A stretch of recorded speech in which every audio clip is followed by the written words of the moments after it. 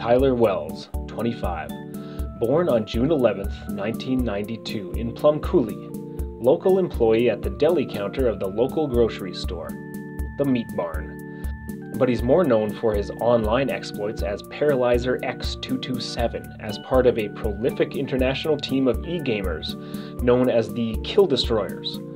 Tyler and his team even came in fourth in an online battle royale last year. However, they were later disqualified as it was discovered one of Tyler's teammates was doping. He's survived by his parents and pet lizard named Fox. Cause of death well, the coroner's best guess is that Tyler either forgot to eat or drink or use the bathroom or a deadly combination of all three while participating in a three week long online tournament, which he used all of his bank vacation days for.